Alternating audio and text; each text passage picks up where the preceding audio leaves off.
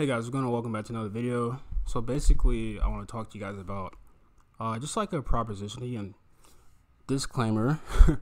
this is my personal opinion, and I can be wrong. I'm not trying to be right or anything. I'm just trying to bring you guys content as far as you know what I think. And again, if you guys disagree with me, you're welcome to say in the comments. But anyway, guys, I just want to give you guys a um, perspective on what I think about Pokemon Sword and Pokemon Shield, the stuff that I'm seeing.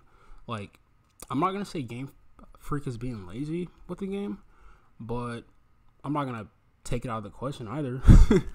like, the reason I say that is because uh, I was watching a new trailer, like everybody else, you know, the millions of people that love Pokemon, right?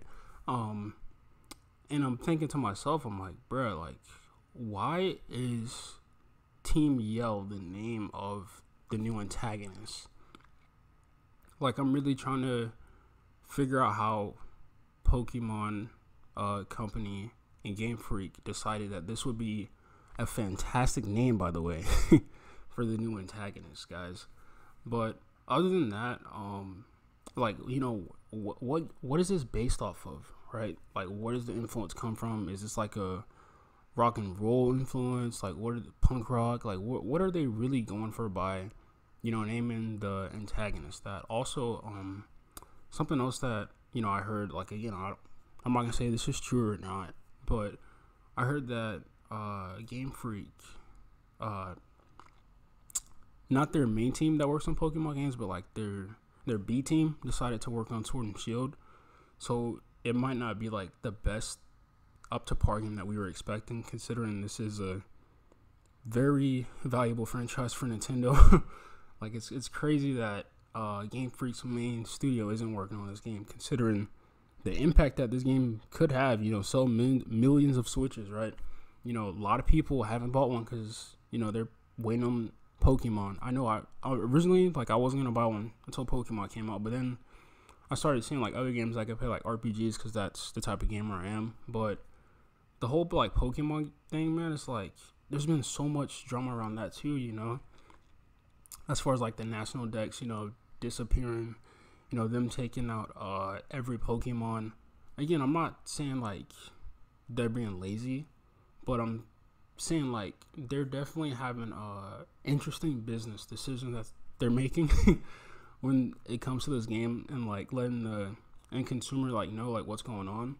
But I really do think that Game Freak should consider, you know, like letting us find out like more stuff, you know, when it comes to this game.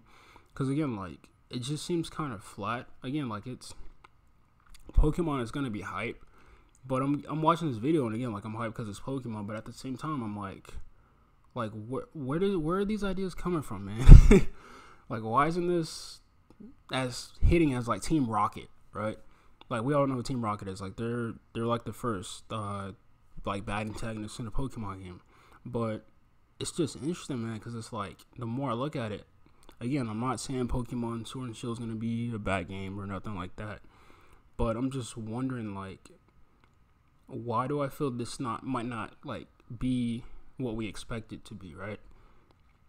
Because again, Pokemon Let's Go came out like last year, and again, I skipped out, man. Like I didn't even have a Switch by then. I was too busy focusing on other stuff, man. To be honest, but with Pokemon Let's Go, like I felt like it was sort of like, uh, okay, Pokemon fans, like here you guys go, man. Like I, we we know you guys been waiting since uh, Ultra Sun, Ultra Moon, so let's uh, give you guys you know something to hold you over till the next Pokemon. So it had been two years since the official release of a mainstream line Pokemon game, right?